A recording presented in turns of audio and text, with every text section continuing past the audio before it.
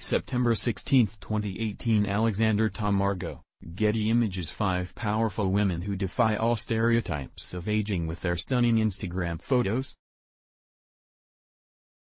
Hollywood, and America in general, can be obsessed with youth, and women in particular face challenges, as the calendar turns over, that most men will never face. I'm 52, which is actually 82 in actress years, actress Annabelle Gurwitch told NPR, when she was interviewed to discuss her book, I See You Made an Effort, Compliments, Indignities, and Survival Stories from the Edge of 50.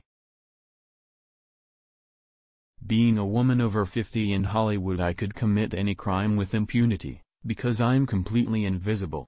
In Hollywood, the situation for women in general remains dire, with fewer than 30% of speaking roles in American films going to women, according to a 2016 University of Southern California study, even though in the most recent U.S.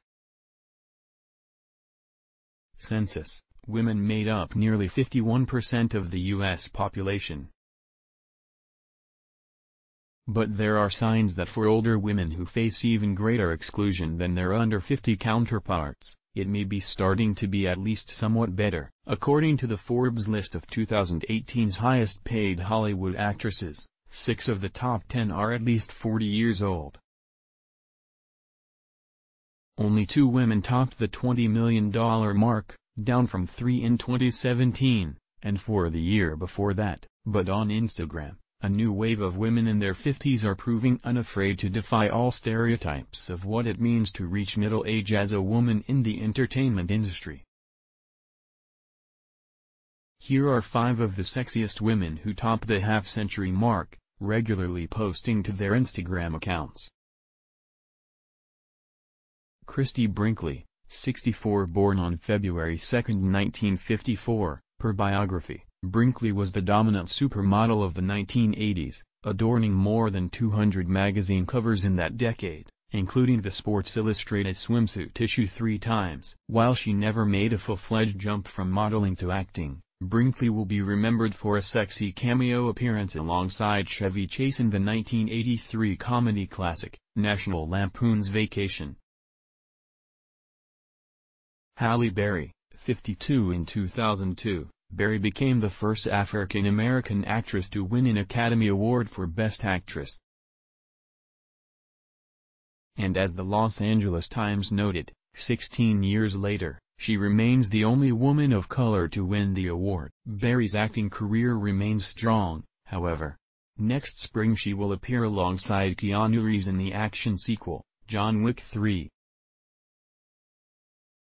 Monica Bellucci, 53 The Italian-born Bellucci saw her breakout role in the 1996 French thriller The Apartment, according to The Telegraph, and 20 years later, she made history as the first Bond girl over 50 starring alongside Daniel Craig in the James Bond blockbuster, Spectre.